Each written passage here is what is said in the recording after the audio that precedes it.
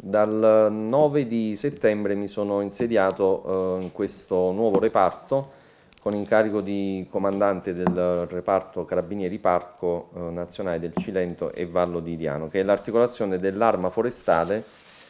che svolge le funzioni di vigilanza e eh, sorveglianza nell'area eh, del, del parco. Ci troviamo davanti al reparto territoriale carabinieri del nucleo forestale del Parco Nazionale del Cilento e Vallo di Diano qui a Vallo della Lucania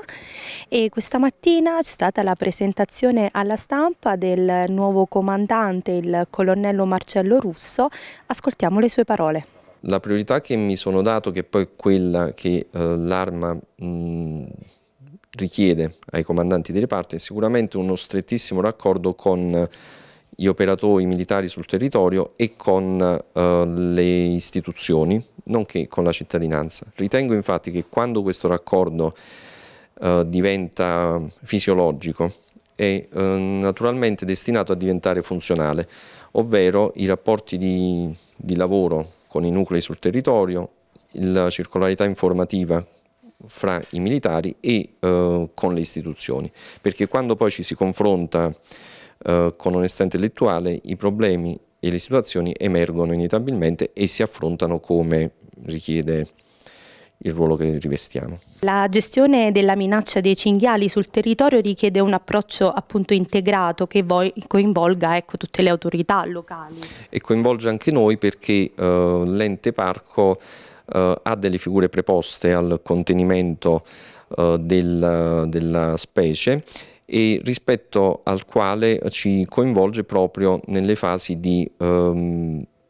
abbattimento nonché di individuazione di queste, di queste figure. Uh, L'argomento è sicuramente scottante e uh, molto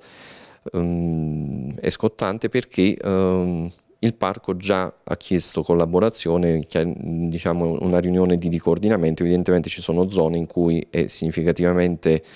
uh, sono significativamente toccate dal, dal fenomeno, tenuto anche conto che uh, l'ente parco, anche avvalendosi dell'operato mm, dei carabinieri forestali, uh, è tenuto a indennizzare i danni conclamati e accertati. L'abbandono illegale dei rifiuti sta diventando un problema sempre più diffuso e quale strategie intende ecco, implementare per contrastare questo fenomeno?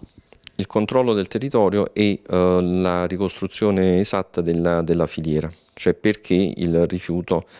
banalmente sia un rifiuto uh, locale o provenga da altre zone. È chiaro che questo uh, è un'attenzione che verrà innanzitutto orientata alle zone più facilmente raggiungibili, alla viabilità primaria